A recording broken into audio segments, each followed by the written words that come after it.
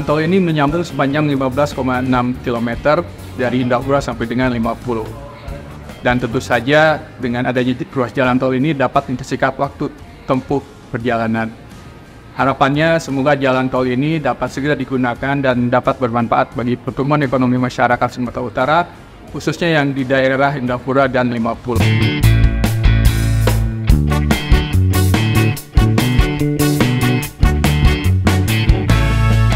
Sumatera Utara siap sambut jalan tol baru di bulan Ramadan, mudik lebaran tahun 2024 bisa jauh lebih ngebut. Lalu tanggal berapa beroperasinya?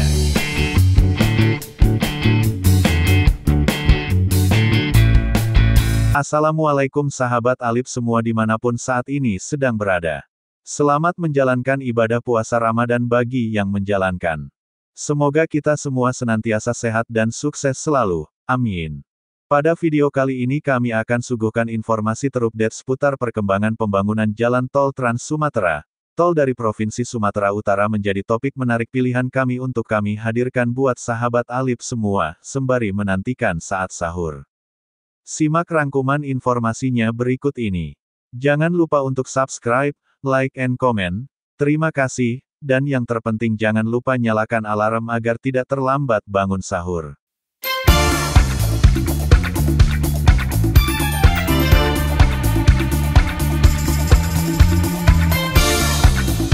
Provinsi Sumatera Utara diketahui tengah menunggu dioperasikannya salah satu jalan tol terbaru mereka di tahun 2024 ini. Adapun pengoperasian jalan tol terbaru Sumatera Utara ini akan berlangsung dalam waktu dekat pada bulan Ramadan tahun 2024 ini. Hal tersebut sebagaimana yang diungkapkan oleh Eksekutif Vice Presiden EVP, Sekretaris Perusahaan Hutama Karya, Cahyo Purnomo yang tengah mengupayakan pengoperasian tol baru Sumatera Utara ini. Pengoperasian jalan tol baru ini juga sebelumnya telah melewati serangkaian tahap seperti di antaranya uji laik fungsi ULF.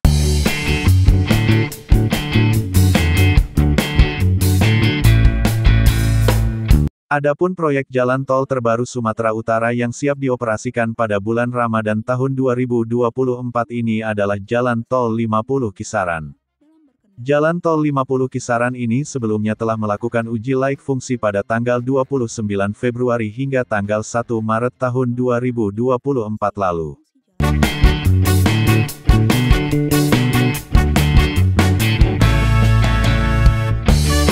Saat ini, Jalan tol 50 kisaran tinggal menunggu hasil uji laik fungsi sebelum akhirnya dapat dioperasikan dan dinikmati oleh masyarakat saat bulan Ramadan.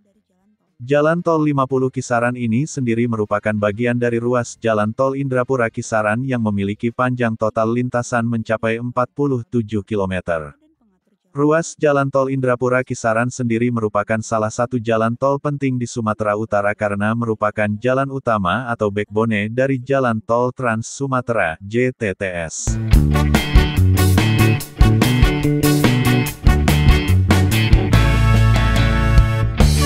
Ruas jalan tol Indrapura kisaran ini dibangun dalam dua, dua seksi pembangunan yang mana keduanya telah berhasil menyelesaikan konstruksi fisiknya.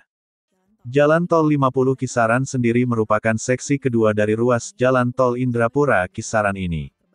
Tol ini dibangun dengan panjang 32 km. Oleh pihak pengembang jalan tol 50 kisaran, Utama karya jalan tol terbaru Sumatera Utara ini optimis dapat dilalui pada bulan Ramadan tahun 2024.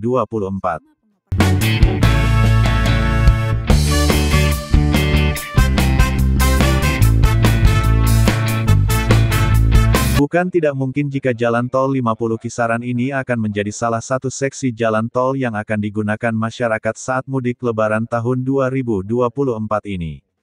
Terkait tanggal pengoperasian jalan tol 50 kisaran, saat ini masih menunggu hasil uji laik fungsi terlebih dahulu.